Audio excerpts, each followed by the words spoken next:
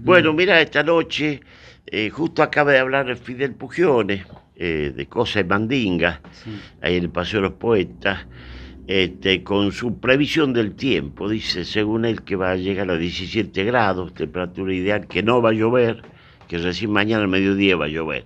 Este Pugiones, los Pugiones tienen contacto con el más allá, así que seguramente vamos a tener un buen día y la presentación la vamos a hacer en la emplanada que del, canal, el Paseo de los Poetas, con buen sonido. Eh, ahí nos va a acompañar con su música Dieguito León, Diego León, con Leo Goldstein, el pianista, y Rodrigo Veraustegui, el, el guitarrista, el guitarrero de la casona, el cantor de la casona de Morino.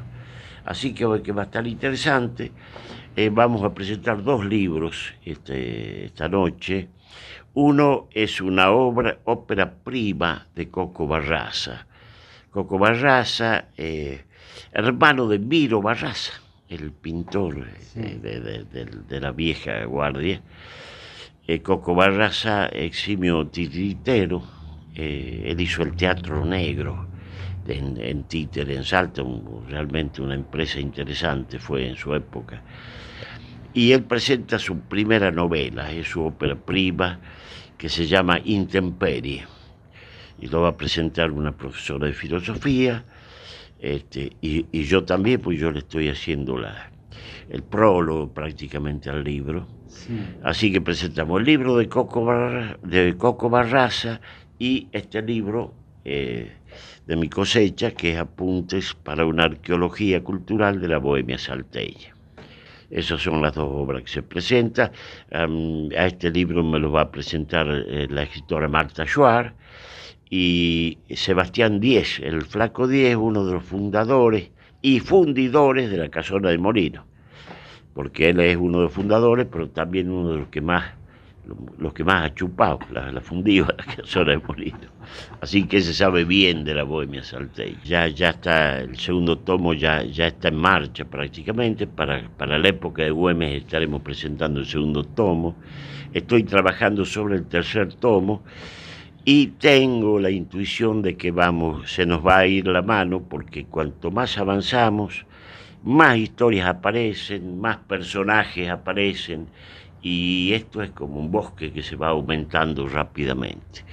Eh, así que con suerte lo vamos a, cerrar en tres tomos, con suerte. Y si se nos va la mano, puede ser como Güemes documentado que tiene 12 tomos, más o menos. Pero va, va para largo, va para largo. Cada vez aparecen más aportantes, más eh, crónicas, más cuentos, más ideas y más obras. Hay muchas obras relacionadas al universo ese poético.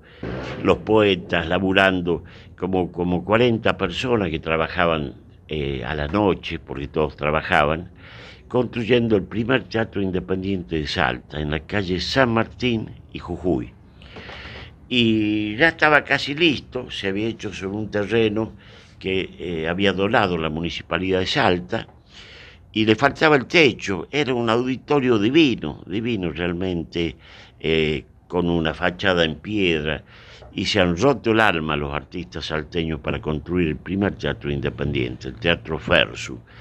Llegó el proceso militar y el intendente Juncosa, haciendo ostentación de, de, falta de imaginación y de envidia por el arte, eh, agarró y les expropió el, terreno y el, y el, edificio que estaba, le faltaba el techo, y se lo quitó, se lo, se lo eh, confiscó y hizo ahí una oficina de cobros de la municipalidad de Salta.